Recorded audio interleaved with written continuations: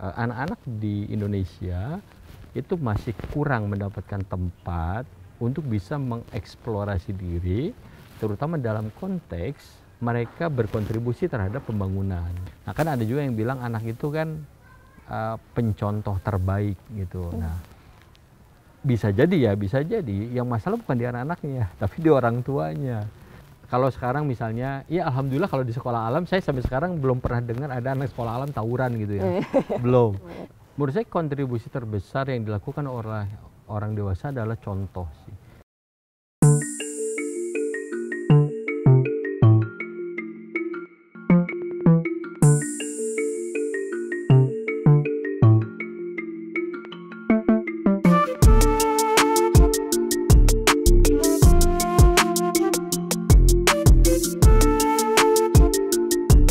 Saya Lutfi Kurnia dari Salam Aid dan saya ada di Good Talk.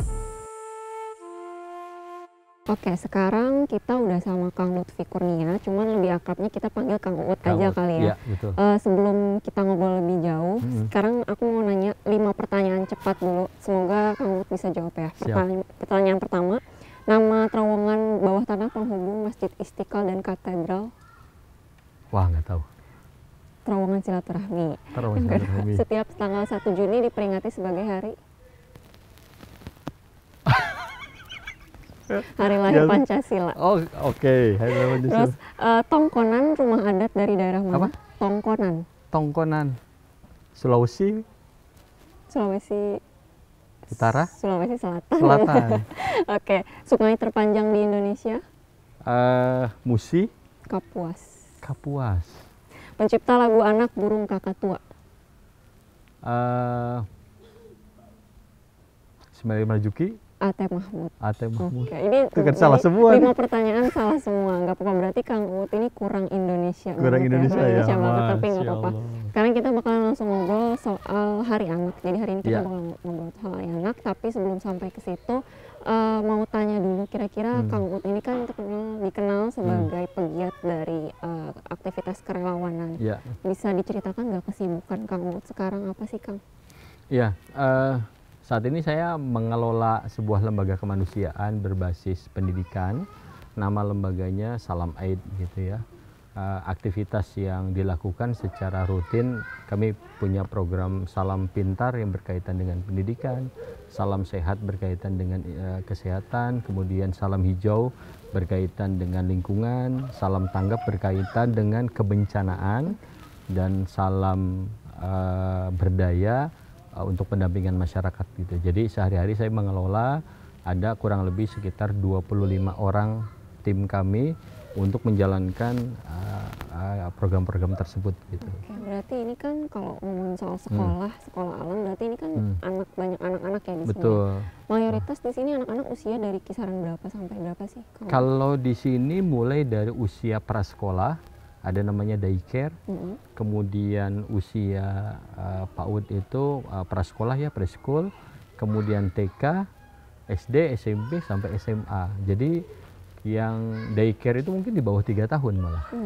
hmm, mulai udah, ada. Udah didaftarin sama sudah didaftarin orang sama orang tuanya begitu. Dapat apa uh, pelajaran yang mungkin di sekolah formal mereka nggak dapat ya. ya betul. Gitu. betul. Oke. Okay.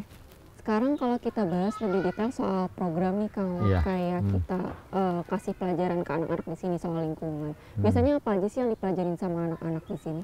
Ya, uh, basis uh, belajar kami kan sebetulnya experiential learning gitu ya. Hmm. Dia belajar uh, selain di ruang kelas, kemudian juga mereka merasakan gitu. Misalnya kalau mereka belajar tentang uh, sungai begitu. Maka mereka tidak hanya belajar tentang sungai secara teoritis, tapi kemudian mereka juga diajak ke sungai hmm, gitu. Okay. Karena kebetulan di samping sekolah sini kan ada sungai yeah. ya. Iya. Ya mereka uh, bisa melakukan pengamatan uh, airnya, batu-batuannya atau hewannya, ikannya dan lain sebagainya begitu. Termasuk kalau misalnya ada sampah di sungai, kita bisa bercerita ke anak-anak bahwa dampak dari sampah hmm. dibuang ke sungai itu seperti apa begitu. Oke, berarti yang benar-benar pengalamannya dapat ya yang Betul. mereka dapat di apa sekolah hmm. formal. Yeah. Nah, hmm, kalau kayak gitu kita bahas soal pengalaman kamu hmm. sendiri sebagai seorang sebagai seorang orang tua yang memiliki anak hmm. dan juga sebagai anak yang masih memiliki yeah. orang tua mungkin begitu yeah, ya. Yeah. Apa sih menurut Kang Uut perbedaan dari anak-anak uh, zaman hmm. sekarang dengan uh, saat Kang Uut menjadi anak-anak di zaman yeah. dulu? Perbedaan yang paling terasa itu apa? Iya. Yeah. Uh, memang beda gini. Saya dulu sekolah sekolah formal ya. Hmm. Sekolah formal tuh SD formal gitu ya, SD negeri, SMP juga negeri. Nah, kebetulan anak saya sekolah dua-duanya sekolah di sini di sekolah alam. Okay tentu perbedaan uh, yang paling mendasar adalah ruang di mana anak-anak diberikan kebebasan untuk melakukan aktivitas apa pun sesuai dengan yang mereka inginkan. Kalau kami di sekolah alam itu ada sesuai dengan minat bakat. Tadi misalnya kalau dulu saya meskipun boleh ya misalnya pergi ke sungai, ke rawa-rawa, main ke kebun boleh, tapi kemudian uh, uh, terbatasi. Tapi uh, untuk anak-anak saya yang sekarang kemudian apalagi ruang lingkupnya juga berbeda dengan saya dulu maka saya justru memberikan ruang seluas-luasnya kepada anak-anak saya untuk melakukan experience-experience uh, di lapangan begitu. Dan itu di mana pun gitu ya. Jadi perbedaannya lebih ke uh, apa namanya uh, pertama tentang ruang tadi. Tapi terutama sih mungkin perspektif orang tua kali ya. Hmm. kalau orang tua dulu juga kan nggak semuanya kemudian mendikte hmm. uh, anaknya nggak boleh ini nggak boleh itu gitu. Uh, itu sih sebetulnya. Jadi ada perbedaan ya kalau dulu ada nggak sih kayak hmm. dulu kan mungkin ada beda Kang Ut dididik sama orang tua dulu hmm. tuh saya dulu tuh nggak sempet nih mendidik hmm. anak saya seperti ini jadi ingin saya lakukan ini kepada anak saya sekarang ada nggak pemahaman-pemahaman seperti itu? Uh, awalnya ada saya tuh dulu sebetulnya kalau misalnya bicara kecerdasan gitu ya hmm. saya memang dari dulu suka olahraga hmm. cuma ruang untuk berolahraga memang agak terbatas hmm. karena uh, orang tua saya lebih suka bahwa saya suka di akademik hmm. begitu okay. gitu Nah, sedangkan ternyata itu turun gitu ya ke anak saya kecerdasan uh, apa namanya olahraganya tuh luar biasa begitu. Nah, sehingga saya sekarang berikan ruang mereka untuk melakukan aktivitas olahraga seluas-luasnya. Gitu.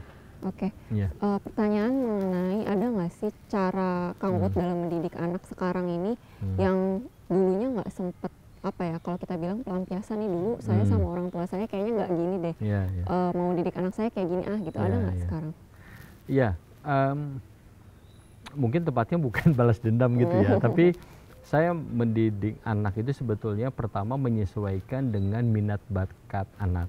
Nah, anak saya yang pertama minat bakatnya itu dari kecil memang terlihat di bidang olahraga. Okay. Karena kemampuan apa ya, kemampuan kinestetiknya tuh uh, luar biasa gitu. Motorik kasarnya itu bagus. Nah, di situ kemudian saya kuatkan motorik kasarnya dengan memberikan dia ruang untuk berolahraga, renang, taekwondo, kemudian lari, Nah begitu dia melakukan itu, uh, saya sambil perhatikan, enjoy. Ketika enjoy, maka dilanjutkan gitu. Ketika dilanjutkan, maka uh, ketika dia menjalankannya dengan enjoy, maka hasilkan hasilnya akan jauh lebih uh, apa lebih uh, baik begitu ya gitu. Jadi caranya itu saja sih, saya memberikan ruang seluas-luasnya termasuk dia usia SD ingin naik gunung gitu. Ya saya berikan ruang. Tapi semuanya yang saya jaga uh, keamanannya. Ketika dia berenang maka saya harus hadirkan pelatih yang memang punya kemampuan. Kalau ada apa-apa di air. Berla naik gunung juga begitu. Jadi saya siapkan saya kontak teman saya misalnya atau siapa eh, teman-teman uh, yang bisa menemani uh, anak saya gitu. Okay. Nah, ini kalau ngomongin soal anak-anak sekarang kan hmm. nggak hmm. nggak bisa lepas dan nggak bisa hmm. jauh sama yang namanya gadget ya hmm, hmm. anak-anak hmm. sekarang tuh kayaknya udah harus dibawa-bawa ke mana-mana lah gadget hmm. nah sekolah alam ini kan hadir dengan konsep yang pasti beda ya maksudnya hmm. gimana caranya supaya anak tuh nggak melulu soal gadget hmm. harus apa mendekat sama alam yeah, segala yeah. macam kalau Kang Wood sendiri anak-anak Kang Wood sendiri itu gimana sih sama gadget termasuk yang nempel juga nggak terus hmm. uh, bagaimana sih Kang Ut melihat fenomena itu kayak misalkan anak-anak sekarang hmm. tuh kayaknya nggak kayak anak-anak zaman hmm. dulu ya kayak ya, ya.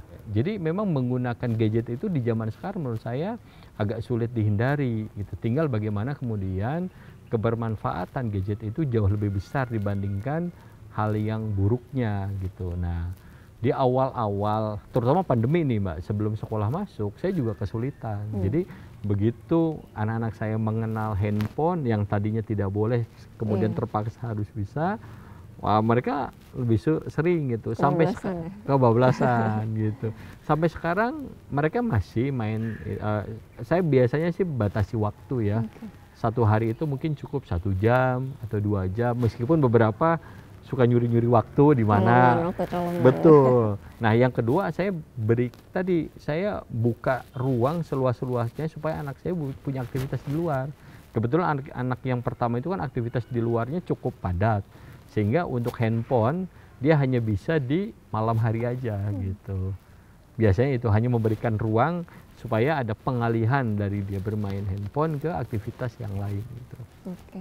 Nah, uh, kalau kita ngomongin soal anak-anak nih kebanyakan masyarakat kita kan secara umum uh, yang terpikirkan kalau hmm. dengar kata anak-anak tuh hmm. usia hmm. paling usia sampai SD lah usia yeah, 6 yeah, tahun yeah, atau paling-paling yeah. tua banget kan yeah, yeah. SMP kelas SMP, 3 gitu padahal betul. kan kenyataannya kita aja sekarang sebenarnya bisa dibilang masih anak-anak gitu yeah, kan yeah. kita masih ada orang tua betul, kita masih betul. anak bagi orang tua betul. kita nah uh, Kang Ut melihat ini apa ya peringatan Hari Anak ini hmm. untuk potensi anak-anak di Indonesia ini bagaimana sih?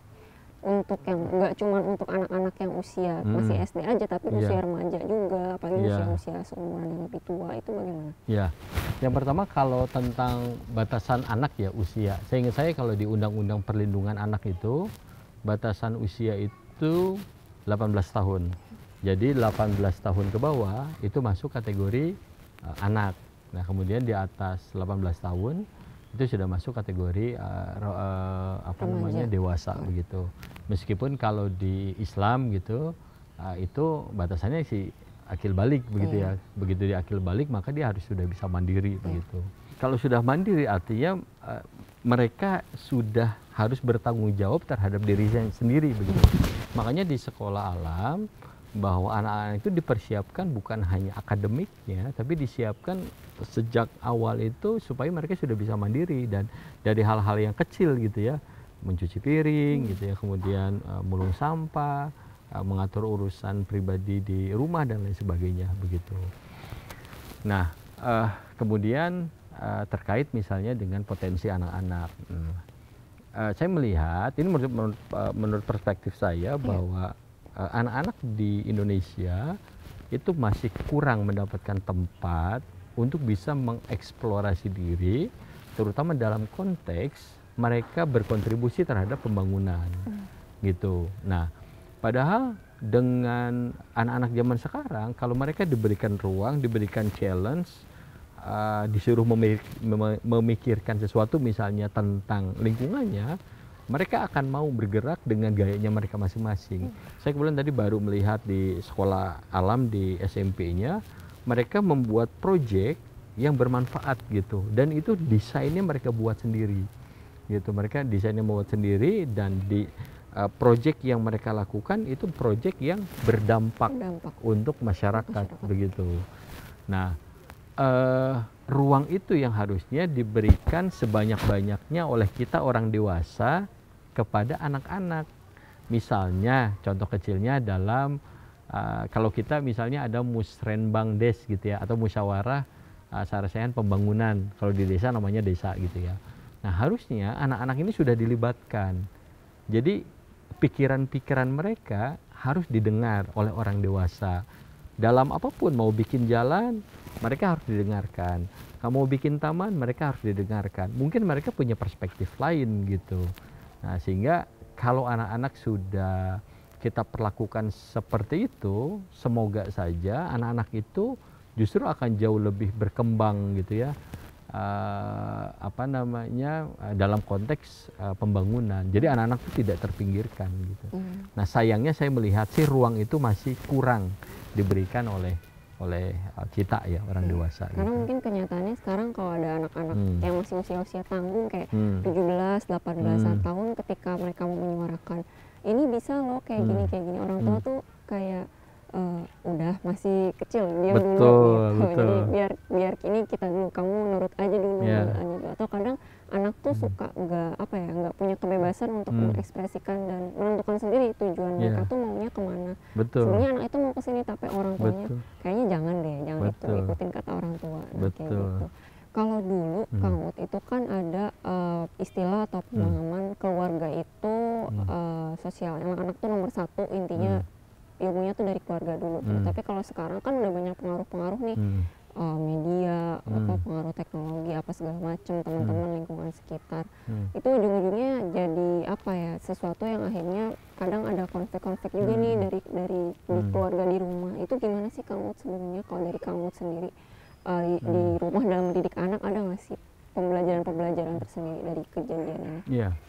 uh, waktu terbanyak anak-anak uh, adalah di keluarga sebetulnya, gitu ya waktu anak-anak eh, lebih banyak di keluarga dibandingkan dia di sekolah dibandingkan dia di tempat mainnya. Artinya kalau waktu anak-anak lebih banyak dengan keluarga harusnya peran orang tua peran yang paling sentral gitu dalam tadi mendidik anak-anaknya gitu. Nah kan ada juga yang bilang anak itu kan uh, pencontoh terbaik gitu. Hmm. Nah bisa jadi ya bisa jadi yang masalah bukan di anak-anaknya tapi di orang tuanya. Jadi orang tua bisa memberikan saran kepada anak, tapi tidak bisa memberikan contoh. Kan masalahnya di situ. Hmm. Jadi selain memberikan saran, harusnya orang tua juga bisa memberikan apa namanya contoh. Saya paling sederhana aja. Kalau anak saya tadi yang pertama kan memang bidangnya olahraga. Uh, dia udah bikin schedule untuk olahraga, dia pagi lari, siangnya, sorenya dia taekwondo, besoknya dia renang dan lain sebagainya tapi begitu uh, saya sering diskusi itu, maka anak saya suka nanya, Bi, kok Abi nggak pernah ikutan gitu ya lari? Iya. kemudian alasan yang kemudian saya bisa keluarkan yeah. gitu ya. Tapi saya pikir anak-anak itu punya punya kecerdasan sendiri gitu. Jadi mungkin kesalahan terbesarnya bukan di anak tapi di orang tua yang tidak bisa menjadi contoh yang baik untuk anak gitu, Mbak. Gitu. Saya pikir kemungkinan itu makanya kalau sekarang tadi misalnya kita cerita tentang anak-anak yang punya potensi luar biasa di usia anak hmm. tapi begitu berkembang ke remaja berkembang ke dewasa kemudian malah menurun, menurun yeah. misalnya uh, banyak faktor ya banyak faktor tapi bisa jadi salah satu faktornya adalah tadi kalau saya melihat uh, apa ya sistem pendukungnya yang nggak kuat gitu. Nggak ada wadah buat menampung kreativitas mereka mungkin betul, kayak gitu ya. Betul, okay. Sistem pendukungnya misalnya kalau dia mau jadi seorang atlet ya, hmm. harus seorang atlet yang hebat, maka sebenarnya mulai dari asupan gizi, gizi dari kecil itu kan sampai dewasa betul-betul dijaga. Misalnya kalau kita kecilnya dijaga, tapi begitu dewasa mungkin tidak. Satu, yang kedua sistem. Atau ekosistem ya. Kita sering menyebut ekosistem yang baik. Sehingga ketika dia menjadi atlet dalam ekosistem yang baik harusnya dia bisa bersaing dengan uh, apa ada ada negara luar gitu. Jadi saya pikir banyak faktor sih. Uh, banyak faktor. Terutama faktornya faktor di ekosistemnya kita itu bisa tumbuh dengan baik karena ekosistem kita yang baik sebetulnya. Nah sekolah alam itu menghadirkan itu mbak sebetulnya. Termasuk salam aid itu dihadirkan untuk memberikan ruang kepada anak-anak sekolah alam belajar sedari kecil untuk menjadi relawan. Gitu. Sehingga kalau anak-anak mulai usia TK udah menjadi relawan, SD jadi relawan, SMP jadi relawan, maka harapan kita ketika dia SMA masuk perguruan tinggi, kemudian dia lulus, maka jiwa kerelawanan yang kita tanam di apa sejak SD TK tadi itu bisa terbawa sampai mereka dewasa hmm. begitu. Jiwa apa ya peduli kemanusiaan, betul. lingkungannya jadi lebih betul. ketika dia udah dewasa jadi bisa lebih ya membuat hmm. kayak bangsa ini lebih baik lah kayak betul. gitu ya. Nah betul. itu kan tadi dari segi anak-anak hmm. nih dari usia kecil. Hmm. Sekarang kita sebagai anak-anak nih usia kita hmm. nih istilahnya usia saya, ya, usia ya. Kang Uut ya. yang masih anak sih sebenarnya. Ya, ya. Nah itu gimana nih? Maksudnya kontribusi kita buat buat apa ya? Buat negara, buat hmm. apalah, buat kerelawanan kalau misalkan kan masih yeah. ada aja ya orang-orang yeah, seusia yeah. kita yang yeah. semasa kecilnya nggak dapet tuh kayak bekal-bekal kerelawanan. Nah yeah. itu gimana sih Kang Menurut saya kontribusi terbesar yang dilakukan oleh orang dewasa adalah contoh sih. Hmm. Memberikan contoh yang baik kepada anak-anak kemudian maka anak-anak itu akan berkembang tadi itu yang pertama ya menjadi contoh apa menjadi contoh buat mereka atau yang kedua yang kedua menciptakan ekosistem yang baik ya. hmm. Kalau sekarang misalnya ya alhamdulillah kalau di sekolah alam saya sampai sekarang belum pernah dengar ada anak sekolah alam tawuran gitu ya. Belum. Tapi ekstrim juga, juga. nah tapi di sekolah-sekolah yang lain ada yang sampai tawuran hmm. ya. Nah kan ini juga harus dilihat gitu ya. Termasuk juga ekosistem di sekolahnya. Bukan bukan bukan si anaknya tapi orang dewasa bagaimana menciptakan ekosistem itu gitu. Uh, mungkin jadi PR besar gitu ya buat kita semua orang dewasa terkait dengan hal tersebut gitu nah Kang Ut uh, ini kalau kita bicara soal hmm. media ini kan sekarang hmm. jadi hal yang nggak terhindarkan ya, ya dari hmm. anak-anak hmm. juga sekarang udah bisa akses Betul. semuanya lebih gampang Betul. pengaruh media untuk anak-anak itu bagi Kang Ut hmm. uh, kayak gimana sih dan ada beberapa uh, contoh nggak sih yang kira-kira bisa dijadiin kayak kayaknya ini cocok nih gimana hmm. untuk bisa mengedukasi anak-anak gitu? Wah itu perannya luar biasa besar ya uh, media itu. Apalagi dengan gadget tadi ya hmm. berita bisa uh, di googling di mana saja gitu. Jadi memang peran media itu luar biasa dalam menginsight informasi apa pun gitu. Sehingga memang informasi yang baik maka uh, itu yang akan menjadikan anak-anak kita akan jauh lebih uh, dewasa gitu. Dan itu sangat penting. Nah informasi-informasi uh, berita-berita baik seperti yang dibuat oleh teman-teman di GNFI itu sangat luar biasa begitu dampaknya ketika mereka secara rutin misalnya bisa uh, membaca atau mendengar dan lain sebagainya gitu jadi itu inputan yang sangat baik sih dan kalau yang masuk ke mereka berita yang jelek maka kita bisa lihat bahwa anak-anak uh, terpengaruh uh, apa hal-hal yang jauh lebih jelek gitu. Oke, Kang Ut, ini kan udah dua tahun lebih ya, kita udah yeah. sekarang udah mau hampir lepas dari lepas. pandemi ini. Yeah. Nah selama dua tahun ini anak-anak di Indonesia juga pasti mengalami perubahan hmm, yang mungkin nggak pernah dialami sebelumnya. Betul, betul. Terakhir ini harapan dari hmm. Kang Ut sendiri sebagai hmm. orang tua, sebagai yeah. pegiat uh, lingkungan hmm. dan pegiat aktivis apa hmm. gerakan hmm. kemanusiaan hmm. untuk anak-anak harapannya hmm. apa nih Kang dari pemerintah atau dari semua orang semua lapisan masyarakat untuk bisa apa mengembangkan potensi anak-anak di Indonesia? Ya uh, belajar dari pandemi ini uh, uh, kita melihat ya saya melihat bahwa uh, khusus, khususnya saya menghubungkan dengan uh, Hari Anak Nasional nanti bahwa Salam Aid akan memberikan ruang seluas-luasnya kepada anak-anak Indonesia untuk menghadirkan potensi-potensi yang mereka miliki. Gitu. Kebetulan kami Salam Aid punya gerakan, nama gerakannya Pelajar Relawan. Nah, bagaimana anak-anak dengan potensi yang dia miliki, dia bisa berkontribusi terhadap Indonesia, khususnya dalam membangun gerakan kemanusiaan gitu. Nah, kami uh, sedang menggagas sebuah uh, program dalam rangka uh, Hari Anak nanti. Tadi kita akan mengumpulkan anak-anak uh, untuk uh, contohnya sih masih di Jabodetabek, hmm. anak-anak hmm. uh, di wilayah Jabodetabek untuk uh, membuat sebuah proyek yang berkaitan dengan kemanusiaan okay. begitu. Nah, proyek ini murni harus hasil pikirannya mereka, hmm. hasil gagasannya mereka sehingga ketika pikiran dan gagasan uh, mereka tuangkan kami akan berikan ruangnya mereka untuk show of force gitu. Mereka untuk menyampaikan kepada orang dewasa bahwa nih saya punya pikiran ini untuk Indonesia uh, konteksnya ini misalnya. Nah insya Allah Salam Aid uh, dalam rangka Hari Anak Nasional nanti uh, membuat sebuah program tadi sehingga orang dewasa bisa tahu bahwa anak-anak itu juga punya kontribusi apa punya potensi kontribusi yang besar terhadap Indonesia begitu. Kalau harapan dari pemerintah nih untuk anak-anak Indonesia mungkin apa peningkatan fasilitas pembelajaran kah atau ada program-program khusus lebih hmm. memperhatikan apa sekolah-sekolah yang hmm. lebih mungkin tertinggal atau hmm. bagaimana? Iya, uh, sebetulnya secara regulasinya pemerintah sudah ya, dia punya sudah punya undang-undang perlindungan anak, uh, baik anak-anak yang mengalami kekerasan ataupun uh, mengembangkan anak-anak gitu. Cuma bagaimana anak-anak uh, tadi pemerintah bisa melibatkan lebih dalam, tidak hanya sebagai objek dalam pembangunan, tapi subjek dalam pembangunan.